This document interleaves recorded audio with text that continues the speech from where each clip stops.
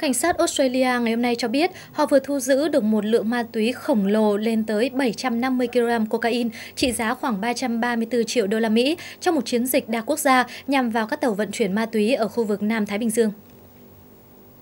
Số ma túy trên được giấu trong một chiếc du thuyền sang trọng đậu ở Port Vila Vanuatu, và các nhà chức trách đã lấy được số ma túy giấu trong khoang động cơ dưới và lớp vỏ thuyền.